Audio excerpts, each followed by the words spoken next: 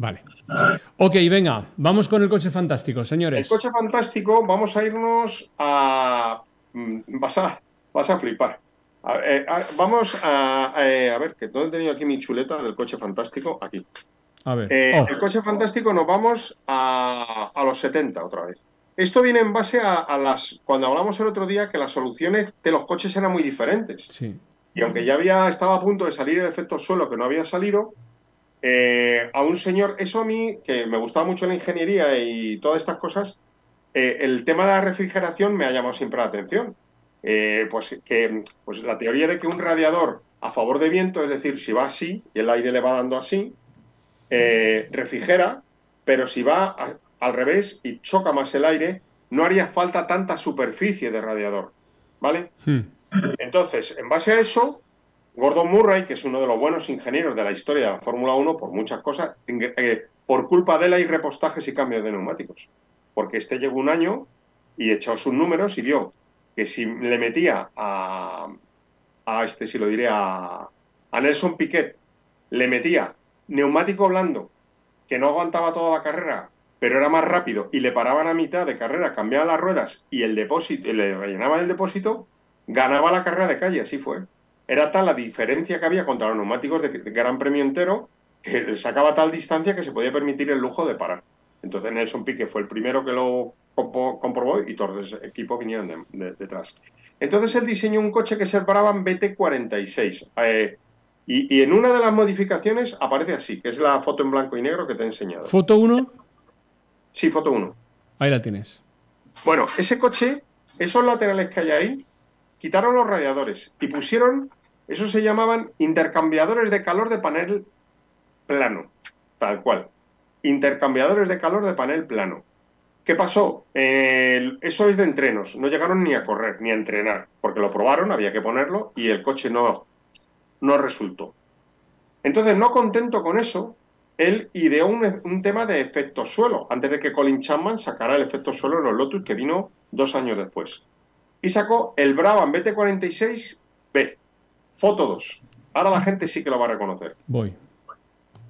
A ver, este coche es precioso, este que hemos visto. ¿eh? El- Muy bonito. Ese coche es muy bonito. Oh, mamá. Pero claro, claro, claro, claro. Ya sé, ahora, ahora lo entiendo todo. Ahora lo entiendo todo. Ah, foto 2, ahí va. Ahí lo tenemos. El Brabham Brabham BT46B. Volvemos a la refrigeración convencional por radiadores normales y corrientes.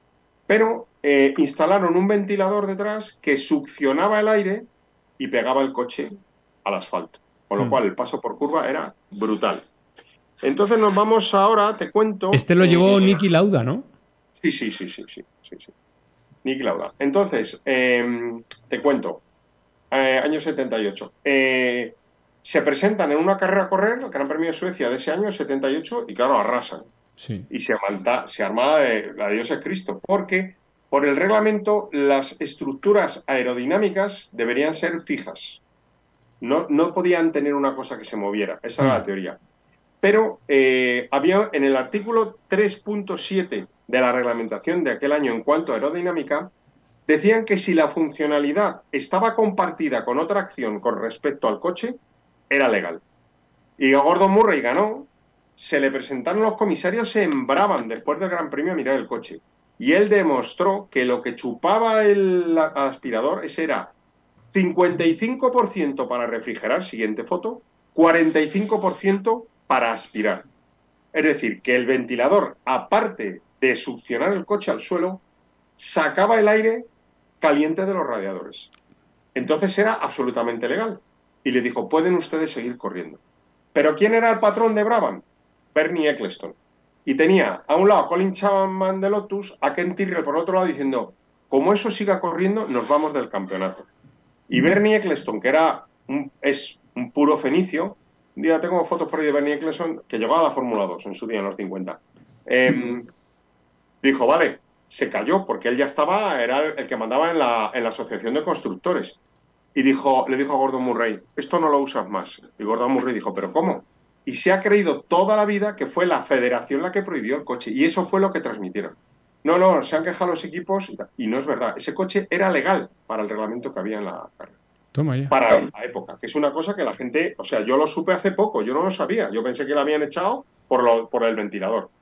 Pero to- a, todo, a todo hay quien gane, ¿no? Y esto viene con retraso porque esto era un invento muy antiguo. Muy antiguo, no, de años, temporadas anteriores. Que ahora es la siguiente foto a la que tienes que poner. Ahí está. El Chaparral 2, eh, lo tengo por aquí, el 2J es ese coche. Chaparral Es 2J. de Jackie Stewart, ¿eh? Sí, Chaparral 2J. Los chaparrales iban 2A, 2B, 2C, 2D y hubo muchos chaparrales. Un día, si quieres, hacemos un, un, una especial chaparral porque es, una, es un fabricante muy especial norteamericano, muy especial. Fue el de los primeros en trabajar con alerón a paralelo a la Fórmula 1 porque los chaparrales anteriores a, a este llevaban alerón superior y tal. Para conseguir adherencia al suelo ponían ventiladores. Dos, además. Ahí está Jackie Stewart, ¿eh? no es cualquiera, ¿eh? y es una carrera oficial. O ¿De sea que puede ser, puede ser que la Fórmula 1 lo copiase de aquí. A ver, evidentemente. O sea, el aspirador, esto es el año 70 y la. Fórmula 1 fue en el 78, ocho años después. Sí, Eso es, eso es el campeonato INSA del año 70. qué Y fuerte. entonces, luego, para acabar de redondearlo, inventaron también el sistema de faldillas que luego se utilizó con el efecto suelo, que es la siguiente foto que tienes. A ver. Y la ha puesto, está el coche de frente, está muy pequeña, ¿no? Sí. Bueno, pero si se fija la- el personal, eh, esas dos eh, flaps azules que hay detrás, Sí. eh, no se ve bien, qué pena. Las faldillas laterales ya iban también. Y va la policía esa roja, es de Lexan. Lexan es una marca de, ¿cómo diría yo? Es un acetato flexible que se utilizó para, para cerrar herméticamente el coche y que la aspiradora no aspirara de la calle, aspirara justo debajo del coche. Ostras, qué bueno. ¿El qué? Eh, Eso, eso. Cerrarlo herméticamente para que Cerrar el aspirador. los laterales. sí, sí. Eh, el día que un día haremos una de efecto suelo, bueno, fíjate con Lotus, el Lotus de dos chasis y esas cosas. ¿Qué pasaba con esas faldillas? Como iban rozando con el suelo, acabaron haciéndola de la única material que aguanta esas temperaturas, que es la cerámica. Vale. De hecho, entraron patrocinadores Pagnosin, Imola, eran fabricantes de cerámica italianos que eran los proveedores de los coches de Fórmula 1 de aquella época de hacer las faldillas. Yo tengo report- bueno, tengo fotos, era el elemento tan crucial en los coches que no iban los camiones cuando iban a los grandes premios. Lo llevaban los ingenieros debajo del brazo, no pesaba y era como llevar unos esquíes, porque eran largos para los pontones de los coches y eso rozaba. De hecho, de ese compuesto eso lo sacaron de cerámica porque de ese compuesto están hechos los paneles protectores de las cápsulas de las naves espaciales cuando hacen la reentrada a la Tierra, que sabes que las temperaturas salen tan altas que se ponen al rojo blanco, no al rojo vivo, al rojo blanco. El rojo blanco es ya la máxima temperatura que pueda adquirir un objeto. Y las faldillas lo adquirían. Y eran móviles, se adaptaban al, al- al asfalto de cada, de cada circuito y eh, hacían el efecto caja, porque lo que, lo que hicieron en Chaparral y lo que Colin Chapman ya lo sabía, lo vio en los 70, cuando los alerones estaban a- al aire, era que lo- los alerones se hicieron al revés de un avión. El avión es para que se sustente y el, y el otro es, eh, ahora los coches lo llevan para generar downforce, es decir, fuerza hacia abajo. Hacia abajo. ¿Qué hizo Colin Chapman? Muy sencillo, lo podemos hacer todos en casa. Eh, cerró los laterales, no, no, te vas a reír, pero hay una cosa que la puedes hacer. Tú que tienes jardín, porque la casa que tienes tienes que tener jardín. Vamos, digo yo, yo no está en tu mansión, Tengo, pero ahí, tiene tengo ahí ese cactus.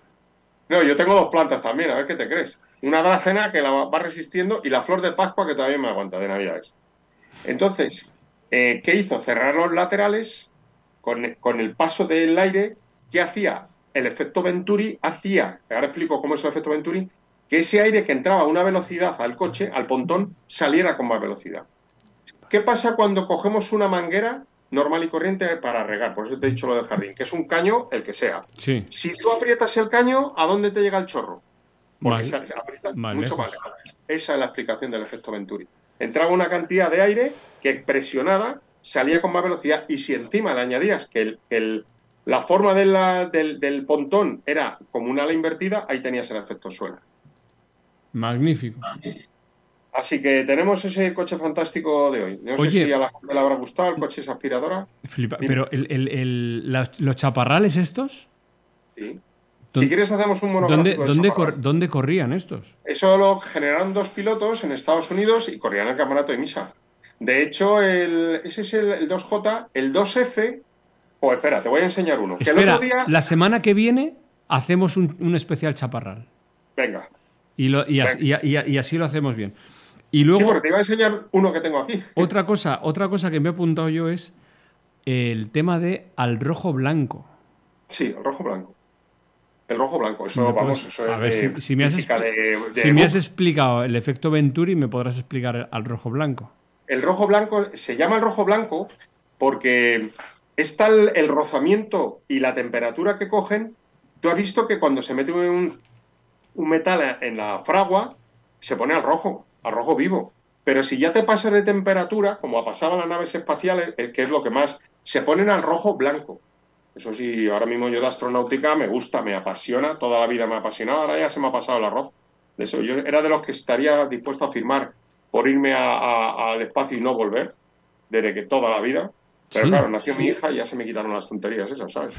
¿Has visto la película tú Interestelar? Sí. Sí, pues no te digo más. Pero que es una teoría que está sin demostrar.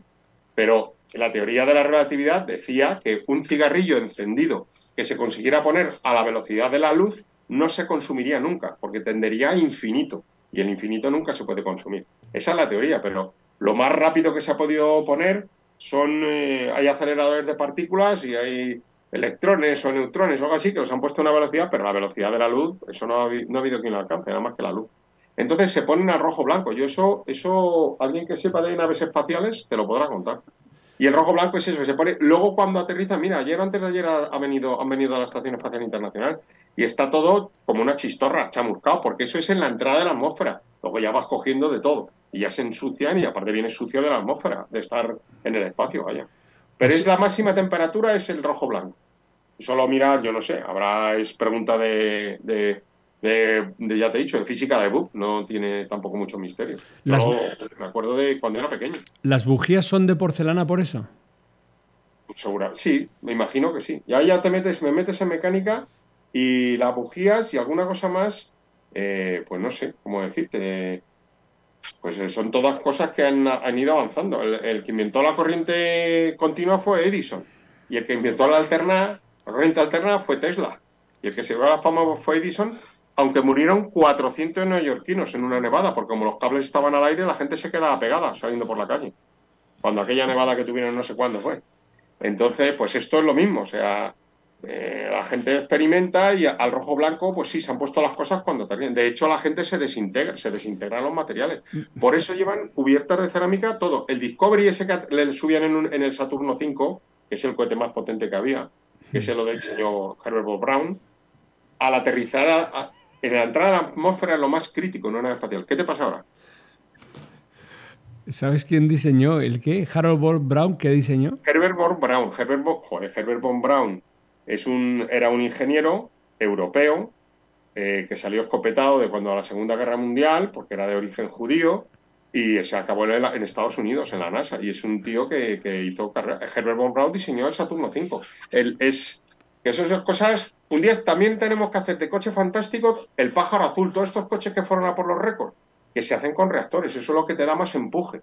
Porque el problema que tiene un cohete es salir de la atmósfera, la gravedad, lo que pesamos. Entonces, y luego la entrada. Yo la verdad que me quito el sombrero cuando, porque muchas de estos viajes se basan en, física y de hecho muchas cosas de, hay interrelación. Pues tanto los alerones que lleva el Discovery, pues tienen, son similares, o sea, el, concepto del efecto ala, porque eso se sigue usando. Los Fórmula 1 de ahora, el tema que tienen es el, el, el, downforce, los alerones, y que a mí no me gusta que tengan tanta. ¿Te acuerdas de la época de las chimeneas, que llevan chimeneas en los laterales? No, no. Si eso se limitara y la electrónica, tendríamos otra Fórmula 1. Como había en los viejos tiempos, usted tiene tanta superficie de ala posterior y tanta superficie de ala lateral. Se acabó. No puede poner usted nada más. Y la gente pues tenía que apencar con eso. Me has hecho, me has hecho un viaje desde Herbert von Braun, pasando por no sé dónde, hasta acabar en la F1. Y, Hombre, pero es que hemos empezado hablando de Fórmula 1 parece bien, y habla de las faldillas. Que me parece bien. Lo que cerraba el efecto suelo en los coches de finales de los 70 y se ha seguido utilizando en los 80, en los 90 y luego ya se prohibieron las faldillas. Para ¿Sabes cuál es el problema de las faldillas? A ver cómo te lo explico. Mm, que cuando, se, cuando iba, iban pegados los coches al suelo, cuando la faldilla deja de tener su, hacer su función correctamente, los coches salían volando. Hubo un Le Mans porque eso se aplicó a todas las disciplinas. Hubo un lema que los Mercedes se retiraron, yo no sé si lo recuerdo, lo buscaríamos también. Los coches volaban para atrás. Ah. Porque, porque tuvieron algún, tenían algún error de diseño que a la hora de la verdad el coche y Mercedes se retiró. Dijo, uy, uy, que nos matamos. El CLK, lo tengo aquí. Si quieres, esto lo enseño. Lo tengo en miniatura, ¿eh? Yo no lo tengo, cualquiera que me venga. Pero, hombre, yo creo que hablar de que las faldillas eran de cerámica porque se ponían al rojo blanco, iban enganchadas en, los pontones, iban subiendo y bajando según el circuito. Necesito un minuto. Que me dejes hablar un minuto. Porque tenemos, ah, tenemos un chat que, es que no nos lo merecemos. Entonces, voy, eh, ya he subido, porque claro, eh, hemos hablado tanto que se han acumulado las cosas. Castelo Danin. Si la temperatura se sigue elevando, el hierro comenzará a despedir emisiones lumínicas con frecuencias más altas y por ende de longitudes de onda más cortas. Entonces podremos ver cómo el hierro va tomando primero un color rojo, luego amarillo y finalmente un blanco destellante. Toma ya. Ahí estamos. Eh, a todos, NeoYonax se nos suscribe. Gracias, NeoYonax, por la suscripción. Y luego, Vigardo77. Nico, yo he sido alfarero y las macetas se cuecen a mil grados. La porcelana aguanta más grados. Es que no nos lo merecemos este chat. Eh, Neoyonax nos dice que hoy ha chocado el Pagani.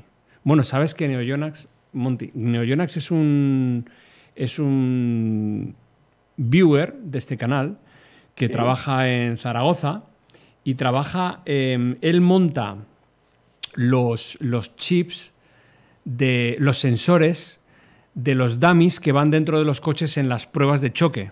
Ya. Para ver, eh, para, ver la seguridad. Entonces le llegan coches, un día le entrevisté en el canal, eh, les llegan coches de toda, de toda gama y toda especie, eh, montados a full equip, porque el coche hay que probarlo full equip, por si la radio, con la radio puesta, por si el accidente, a ver si la radio interfiere, etc. Y entonces los estrellan, tío a ver, qué, a ver qué le pasa. Y los estrellan. Claro, tiene una, cláusula de confidencialidad que no puede decir nada ni enseñar nada, ¿no? Eh, y creo que a él también le quitan el móvil cuando entra en, la, en su zona de trabajo. Me suena, me suena que me contó esto, que ahora está en el chat que nos lo. Creo que a él le cuenta. no se hagan fotos. Yo, mira, recuerdo en ese aspecto, cuando estuve en Volkswagen, eh, ah, perdón, perdón, que vive en Barcelona y trabaja en el Vendrell, perdón. Pero eres de Zaragoza. Neoyonax, ¿por qué te, tenía yo localizado en Zaragoza? Porque habrá ido al Pilar. Vale. Ah, monta los dummies que chocan, ¿vale? Y los móviles sin cámara tienen que entrar. Sin cámara. Claro. Yo tuve una época de eso, yo he sido siempre muy troglodita en ese aspecto. Y yo el móvil con cámara pues no me hacía mucha gracia. Entonces yo tenía mi móvil y yo a mí me ha pasado por circunstancias ir a un juzgado y el único que tenía teléfono juzgado era yo. Porque yo iba con mi Nokia 6310i, el mejor teléfono que ha habido y que habrá. Yo lo cargaba el domingo hasta el domingo siguiente nada. Y tenía correo electrónico ese teléfono. Ya está. Es que ahora, ahora vas, lo que te decía, ahora la gente, no, el teléfono, el móvil, no sé qué. es que es verdad. Eh, no sé, en diversos actos sociales te dejan, hay que dejar el móvil. Yo ahora perdí ya el contacto, pero yo conocí a una señora que yo he mandado muchísima gente de viaje a eso. Por ejemplo, un viaje, me tienes que buscar gente, te voy a decir una burrada, que tenga monovolúmenes en casa. Oye, ¿quién tiene un monofulanito y tal? Y van invitados a, una, a una nave industrial, Alemania, Austria y tal, les daban una buena cena y al día siguiente les metían ahí y les enseñaban un coche, firmando con confidencialidad para luego saber si a la gente le había gustado o no. Mm. Entonces, uno de los requisitos era que el móvil no tuviera cámara, no pueden ir con móvil o lo dejan, lo dejan fuera. Déjenos usted aquí en móvil y tal. Que me parece bien, o sea, la intimidad de ciertas cosas. Lo que te he dicho del, del señor este que se ha ido ahora, ha ido a McLaren, pues que tiene que estar seis meses, no puede decir ni mu. De hecho, ha habido veces que han fichado gente, y incluso los pilotos, eh, bueno, Alonso no va a contar mucho de, Alpine en, Aston Martin porque no iba muy allá. Pero si hubiera sido al revés, pues, pues, ¿qué quieres que te diga? O sea, ahora mismo te voy a decir una cosa: Checo Pérez ficha por otro equipo y, hombre, le preguntarán. Lo que pasa que tienen que ser muy profesionales y, no decir ni mu. ¿Por qué? Porque si ve que lo cuentan, el que le fiche dirá, joder, pues cuando se vaya de aquí va a contarlo todo. Entonces. Pues la que liaron, la que liaron de la Rosa y Alonso, ¿qué? Bueno, secreto profesional, ese hay que tenerlo ya, pero bueno, eh, España, eh, España, España es España bueno, pues. Oh, no me oiga, ya, son las 9 y 6 minutos, las 10 y 6 minutos.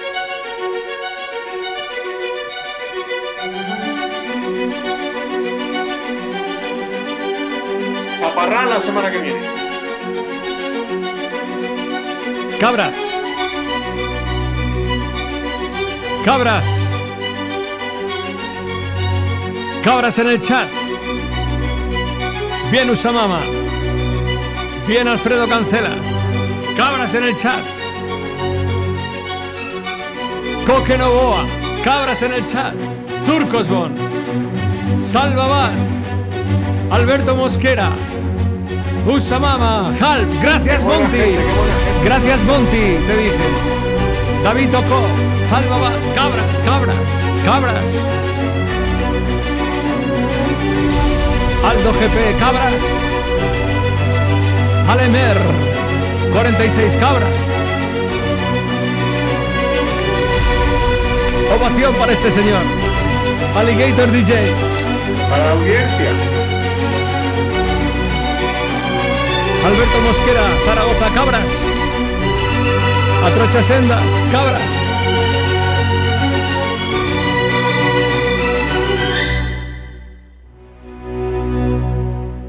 Decir una cosa triste. El presidente de la FIA, Sulayem, se le mató el hijo la semana pasada en Dubái en un accidente de tráfico. Con 21 años, una cosa así. Uh. Está- corría la Fórmula 4, sí. Bueno, joder, eh, para cualquier padre, pues es un drama. pues un, un abrazo. Un abrazo para la familia de Sulayem. Una- no, no nos van a oír, pero bueno, No, nunca se sabe. Se lo mandamos. Pero hombre, no deja de ser un, un piloto que ha caído encima en Dubái y pues ya sabes que allí no van descalzos, o sea, un buen aparato llevaría, claro, pero cosas que pasan. En fin, para la, Pero semana, vamos, va- para la semana que viene, Monty, tenemos... Chaparral, Chaparral. Bueno, para la semana que viene, yo mira, la semana pasada he tenido, yo estoy, tuve evento este fin de semana, hicimos una reunión de Toyotas antiguos, los MK1, los RAV4, y esta semana me voy a una prueba de todoterreno extremo a Guadix, a una prólogo que luego harán la carrera en, en Marruecos. Y, a la, y, y la semana que viene empieza el Campeonato de España, que habrá ahí... Habrá que, ya sabes, está todo el mundo pendiente de, de que vas a Badajoz, así que ¿Le pones azúcar al yogur o no? sí. No, le pongo sacarinita. ¿Sacarina al yogur? Sí, sí, sí, sí. Por no tomar azúcar. Pues dices tú, pues esta semana me he pasado, el fin de semana, con esto que hemos estado, estuvimos en el Espinar, que era la fiesta de los gancheros, y joder, cenamos en un sitio de forma espectacular. Muy bueno, muy bueno, muy bueno. Una cosa que seguro que no- yo no conocía, el falso solomillo. ¿Tú sabes lo que es el falso solomillo? Falso solomillo, ¿no? Una pieza de, de la vaca o de la ternera, nos contó la señora. Lo que pasa que éramos 13 o 14 años en la mesa y estábamos a otra cosa. Y me quedé con la copla, la verdad que estaba muy bueno. Es una pieza que le llaman el falso solomillo. Entérate, tú que eres- le pegas más a ese gremio. Hay que Y investigar. en abril, en abril habrá que ir al gourmet, salón del gourmet, ¿no? En abril, en abril tenemos Badajoz, ¿no? Y el salón del gourmet, aquí en Madrid. ¿No vas nunca al salón del club del gourmet? No. Pues tienes que ir, amigo. Tengo Solo por el túnel del vino merece la pena ir. ¿Vas a Porque- seguir, vas a seguir, vas a seguir el World Rally Car México? Sí, ah, bueno, claro, es verdad. Si tenemos México, te- el Sierra Morena aquí, Campeonato de España de rallies, tenemos cosas este fin de semana. Ah, Claro, habrá que seguirlo. Vuelve Oyer, vuelve Oyer a México. ¡Oh! Está Dani Sordo en México. O sea que tenemos un fin de semana cargadito. El El, día- lunes lo contaremos todo, el, El martes día lo 21. contamos todo. El 21 lo contamos todo. Y, y nada más, no sé qué más contarte. No, ya ya hemos metido las cabras, hemos puesto los violines, me falta la- te falta la guadaña de ahí. Si ya, Corta. si ya hemos Y puesto que violines. sepas, que sepas que hoy no, hoy no he bebido en todo el programa, amigo.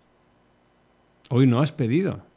No has bebido. Ah, no. entonces- Sí, no, es que ya te. No, no. Es que cuando miras la hoja bebo. Ostras, pues que aproveche. Pero, hombre, María. pero, pero si te hace ilusión, voy a echar un traguito ahora. Sí, sí, porque Pero- que sepa la gente que tiene seis vodka metido. Te he metido las, No, las cabras en el corral dos veces, que cuando han mirado la hoja he hecho rasca, trago. pues ya sé lo que tengo que hacer. Mirar la, mirar la hoja, así mirándote a la cámara, mirando tal, no sé qué. Acabaré con los ojos como un caballito de mar, pero ¿qué vamos a hacer?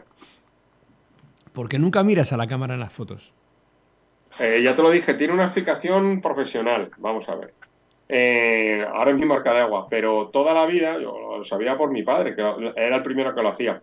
Si tú te fijas en todas las eh, fotocall, en todas las alfombras, en los Oscar y tal, ahí hay una playa de, de fotógrafos, eso está lleno. Y, y el, el actor parece que mira, no, no, el actor va con la mirada perdida. Con eso, en teoría, evitas ojos rojos. evitas caras raras, etcétera, etcétera, etcétera. Entonces ya yo, vamos, he corregido y he aumentado el, el sistema, porque yo lo que miras a la cámara, lo suyo es mirar a la cámara y en último momento desviar la vista. Pero ya llega un momento, como están a cazarte, pues ya pongo la, la cara mirando para la meca.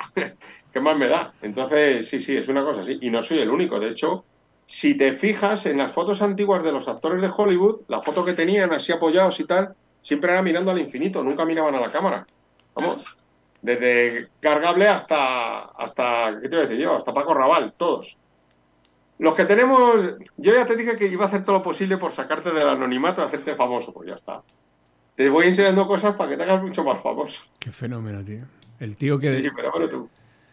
Teníamos, ahí teníamos un astronauta, un astronauta en ciernes y tuvo una hija y ya se quedó en la Tierra. No, no astronauta en ciernes. A mí me ha gustado siempre mucho, mucho todo ese tema. La cosmonáutica, el que haya, el saber si hay vida más allá, eh, las distancias, los agujeros negros, los, los agujeros de gusano, todas estas cosas. Me han encantado. Eh, lo que pasa es que, claro, el problema es la distancia, que nuestro cerebro no es capaz de asimilar las distancias interestelares que hay tan grandes. Entonces, eh, yo qué sé, me acuerdo, hay una, una, de Star Trek que viene, porque hablan de un tal Beyer, Beyer, y es una nave que era la Voyager, que estaba pensada para que acaparara información. Y está la información que acapara que se convierte en un planeta. Es todo ciencia ficción, ¿sabes? Pero a mí esas cosas siempre me han gustado. Pero eh, si has visto Interestelar, ese es el problema, que en teoría tú te vas, para ti ha pasado poco tiempo, si vas a mucha velocidad y cuando vuelves tus seres queridos han desaparecido. Entonces, pues eh, se me quitaron las ganas. Joder, si oye esto mi hija no me creería. No me creería. Porque sí, porque es así. Y de hecho en esa película pasan esas cosas. La teoría de la relatividad no se ha podido demostrar, pero, pero es posible. O sea, Einstein no era tonto. Y, estaría muy bien, estaría muy bien porque el planeta que tenemos está cayendo poco a poco a, trozos y cuando se acabe el planeta, que pasarán miles de años hasta que... Bueno, el planeta tiene fecha de caducidad porque el Sol se apagará algún día. Y el día que se apaga el Sol, que ahora ya no me acuerdo de la serie, enana roja, enana no sé qué, eh, tal, tal, tal, tal, va pasando y llega un momento que la estrella se apaga. ¿Qué pasa?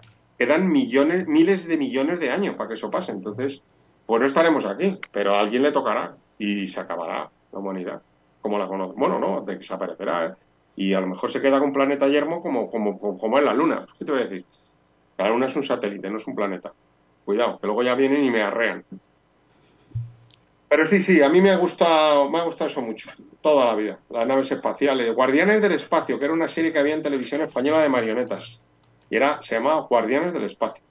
Eran, tenían varias naves espaciales, eso, vamos. Y, cuando estrenaron La Guerra de las Galaxias, que la vi en el Real Cinema yo, en la Plaza de la Ópera, yo no me podía levantar de la silla, porque, porque era lo que había soñado toda la vida.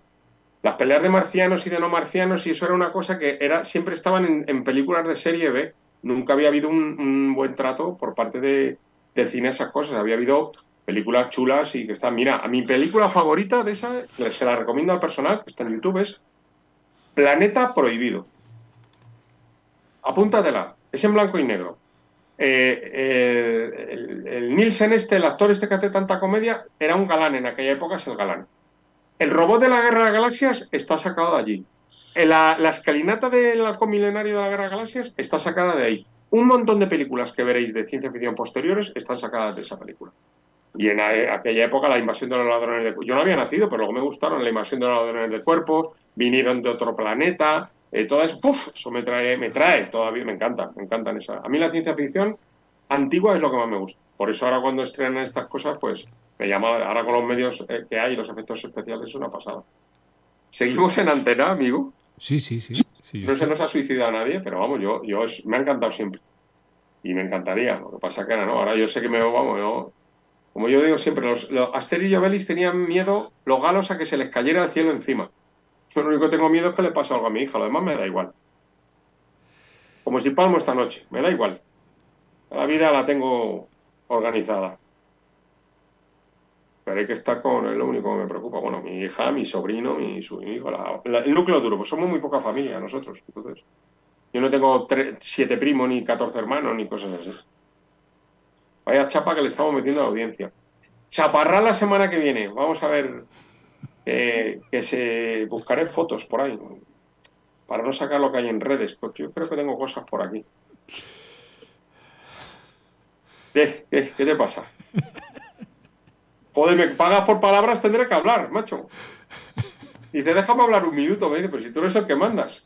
Te, te, te tienes que hacer un cartel, igual que saca la botella, como el, el correcamino que, o el, el, coyote. Y el correcamino sacaba un cartel que ponía stop. ¿Tú no te acuerdas de eso? El gallo sí. Claudio, que sí. le hacía así al perro cuando el, cuando ¡pum! le sujetaba la cadena. Oye, perro, digo, perro. Pues igual. Un cartel que ponga stop y ya se me tengo que callar.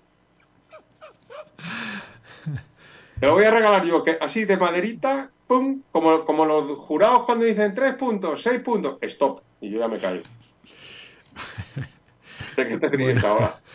Entonces, ¿Qué, ¿Qué, estará poniendo la gente? ¿De eso te ríes? No, no, no. La gente. Mira, pues mira, en, to, en mientras. Mientras.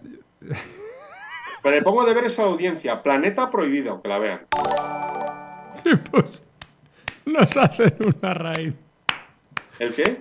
Nos hacen una raid Keep Pushing F1. Muchas gracias, muchas gracias que venís todos aquí. Eh, muchas gracias. Estábamos en, en, en, un momento místico en el canal en el, que, en el que yo he dicho en el chat, sin que tú lo supieras, Montalbán, he dicho, no voy a decir nada. A ver cuánto sigue él. Y eh, te lo estaban cronometrando y has estado cinco minutos de reloj.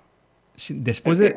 ¿Haciendo qué? Hablando. ¿Hablando? Sí. O sea, después de... Una hora. Después de que, después de que yo te haya dicho adiós y, ah. me, y me haya callado, has estado cinco minutos del tirón, en los cuales has repasado la cosmonáutica, no, no, la, para nada. la ciencia, poquito, las películas de ciencia ficción, por qué te haces las fotografías así, eh, y en fin, o sea, has, has, has, has hecho...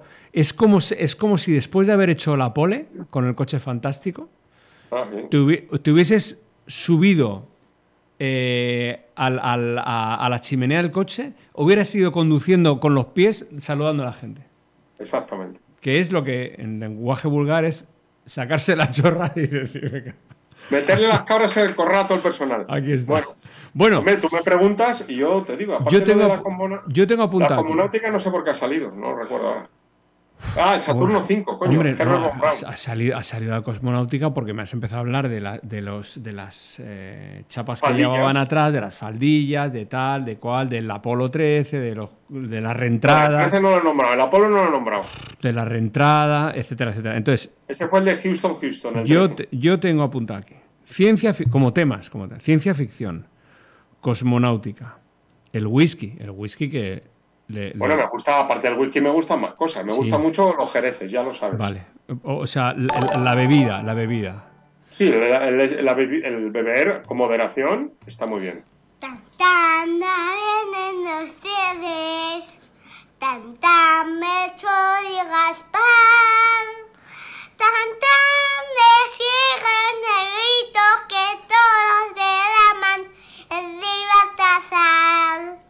¿Quién, quién, quién hace eso? ¿Qué niño, qué niña hace eso? Esto es, eh, esto es el, el sistema de Twitch que cada vez que hay una suscripción lanza este villancico. Pero ¿quién, quién hace esa voz? ¿Quién lo no sé, pues uno, uno- o está, está sacado de Twitch. de- está enlatado? Vale, vale, vale. está, está enlatado. El whisky o las, y- o las bebidas. Las bebidas. Eh, camionetas polvorientas también te gusta. Lo que, el automovilismo, lo que más. Lo que el más. automovilismo es, sabéis que es, es una, eh, para, yo lo considero no una religión, una filosofía de vida y, y a los que nos gusta el motor, pues nos gusta el motor, no hay otra. Y ya está. El automovilismo, lo que sea, lo que haga falta. Vale. Y pues esto sería todo. Es que me has dejado un, un- un epitafio ahí de ya no me importaría morirme, que ya No, entiéndeme, vamos a ver, no me quiero morir, pero ¿qué, eh, qué, qué quieres que te diga? Eh, ¿Qué peor me puede pasar eso? Tú eres padre, ¿qué quieres que te cuente? Entonces, pff, lo demás, eh, tú y yo, bueno, yo por lo menos, ya lo digo muchas veces, que yo he visto naves ardiendo más allá de Orión, entonces, sí, pues ha vivido, hay gente que pues, eh, ha, sido farero y no ha salido del faro, y no, pero yo he viajado, conozco cuatro continentes, eh, me intento llevarme bien con todo el mundo. Eh, ¿Qué quieres que te diga? No, no, no. Pero vamos, encima, joder, tengo. Yo ya he pasado los 60. Ya. A ver si. A ver si. Hombre, un cuartito de siglo más me gustaría vivir. Pero no has llegado a los 70, ¿no? Ojo, ahí los tengo. Me queda, me queda un montón. Me quedan nueve años y pico, ¿no? A ver si, a ver si llego. Pues Yo mira- nunca pensé que llegara a esta edad, te lo juro. Nunca, nunca, nunca, nunca. Me lo dijo Carlos Sainz cuando cumplió 50. que él, cuando él, cuando cumplimos 50, como somos de la misma quinta, él es de abril y yo de agosto, digo, joder, hemos llegado a los 50 y me dijo, luego no se acordaba, se lo recordé y no se acordaba, Sainz Vázquez de Castro, o sea, Sainz en amor. Me decía, cuando mi padre cum- cumplió 50 años, yo pensé, ¿cómo puede ser un hombre tan viejo? Yo, como diciendo, ahí no llegamos, y mira que sí hemos llegado, madre mía. Y bien, ¿eh? que eso es lo importante. Está Bueno, bien. Gracias eh, a que te cuida la salud, los médicos y todas estas cosas. Te voy a mandar por WhatsApp eh, lo que un, un- ¿Dónde estás aquí? Uno de nuestros eh, espectadores nos ha mandado, eh, que es el plan para esta semana con todas las competiciones que él va a seguir, en la cual incluye, Bueno, en la cual incluye, ya lo tienes en el WhatsApp, en la cual incluye el ADAC Westfalenfahrt. Ojo ahí. Entonces, el martes 21 hablaremos de todo esto. Rally de México, las mil millas, el ADAC Westfalenfahrt, el Móvil 1 12 horas Sebring, F2, F1, Atlanta Motor Speedway, Round 10 Detroit y NASCAR. claro. Es donde corre Patton y Recones. Y, y luego pruebas nacionales, pruebas regionales, y aquí no se para. Mira, en, en- en Gran Bretaña hay hasta una copa de autobuses de dos pisos. Mm, Se ríe. Mm, Pues vale. Pero es que es así. O sea, hay, hay un, un campeonato de Citroën dos caballos de pruebas de- y la última son de varias horas de resistencia. Entonces en Inglaterra hay carreras de autobuses de dos pisos. Búscatelo en internet. Bueno, señores, Montalbán, llevamos eh, 2 horas 54 de, de emisión. Uf, Contigo dos. estarás agotado, estarás agotado. Estoy reventaico. Entonces, voy a cerrar antes de que se cumplan tres horas de emisión. Venga, vale, sí. Eh. Tierra que yo me quedo con la gente. Vale, tú. Te tienes que abrir YouTube. Tenemos que poner una fecha.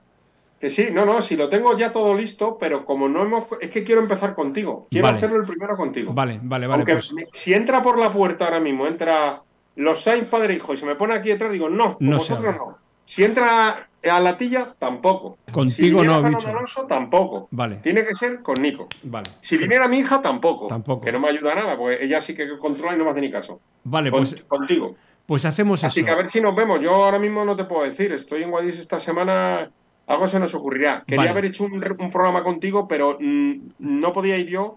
Es muy complicado y lo tengo guardado por si nos pasa otra vez poder hacer eso. Bueno, vamos a hacer una cosa. pendientes. Yo te voy a decir unas cuantas opciones para abrir tu canal de Twitch, de YouTube, perdona. Si lo tengo, que está abierto, es meter Sí, el primer vale, vale, pero para hacer ese, el primer programa ya en serio de Montalbán en las ondas.